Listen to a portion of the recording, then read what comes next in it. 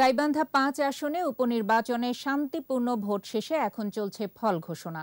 প্রধান নির্বাচন কমিশনার কাজী হাবিবুল আওয়াল বলেছেন, কেন্দ্রগুলোতে সিসি ক্যামেরা ইতিবাচক ভূমিকা রেখেছে।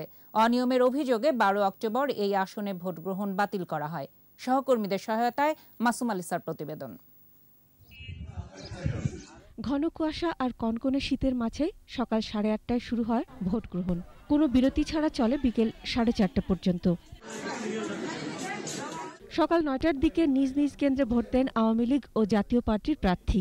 উন্নয়নের পক্ষে তারা উন্নয়নের জন্য জননেত্রী শেখ হাসিনার পক্ষে বাংলাদেশ আওয়ামী লীগের পক্ষে নৌকা মার্কায় ভোট দিয়ে নৌকা মার্কাকে বিজয়ী করে ইভিএমে যদি কোনো অনিয়ম ত্রুটি ধরা না পড়ে কিংবা ফলাফল নিয়ে যদি কোনো সমস্যার সৃষ্টি না হয় লাঙ্গলের বিজয় অনেক অনেকভাবে সুনিশ্চিত।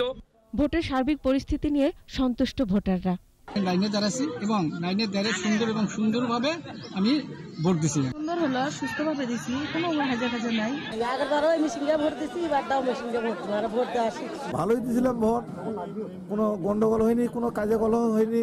একশো পঁয়তাল্লিশটি কেন্দ্রে সবগুলোতেই ভোট হয় ইভিএমে ভোট গ্রহণ নির্বিঘ্ন করতে অতিরিক্ত পুলিশ র্যাব সহ মোতায়েন ছিল চার প্লাটুন বিজিবি। প্রতিটি কেন্দ্রেই ছিল সিসি ক্যামেরা। এদিকে কমিশন সচিবালয়ে প্রধান নির্বাচন কমিশনার সাংবাদিকদের বলেন কেন্দ্রে সিসি ক্যামেরা স্থাপনে ইতিবাচক ফল পাওয়া গেছে। সিসিটিভির মাধ্যমে পর্যবেক্ষণটা অনেক তীক্ষ্ণ এবং সূক্ষ্ম এবং অনেক বেশি কার্যকর হচ্ছে এবং যারা প্রার্থী, তারাও এই বিষয়টাকে গুরুত্ব দিচ্ছেন। ইলেকট্রাল গভর্নেন্সে এই উন্নয়নটা ঘটেছে, ভোট কেন্দ্রের ভিতরে এবং বাইরে শৃঙ্খলা আগের চেয়ে এখন অনেক বেশি প্রতিষ্ঠিত হয়েছে। এই উপনির্বাচনে পঁয়ত্রিশ শতাংশ ভোট পড়েছে। জাতীয় নির্বাচনে কতগুলো আসনে ইভিএমে হবে তা চূড়ান্ত হয়নি বলেও জানান প্রধান নির্বাচন কমিশনার। আগামী জাতীয় সংসদ নির্বাচনে আমরা সিসিটিভি ক্যামেরা ব্যবহার করব কি করব না বা কতটুকু করব সেই বিষয়ে আমরা কোনো সিদ্ধান্তে এখনও উপনীত হইনি। মাসুম আলিসা একুশে টেলিভিশন।